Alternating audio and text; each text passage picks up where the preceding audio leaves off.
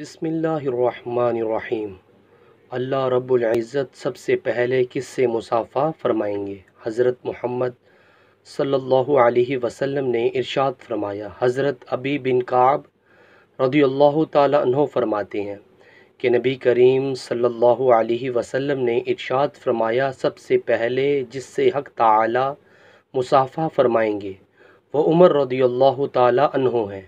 और वो सबसे पहले शख्स हैं जिनको हक ताला सलाम फरमाएँगे।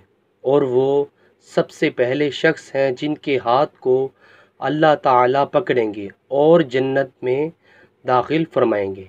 इब्ने माजे कदी से सो व्यूवर्स वीडियो को आगे शेयर करें और कमेंट्स बॉक्स में अपनी कीमती राय का ज़रूर इजहार कीजिए। जजाकल्ला असलकम वरहमल वबरकू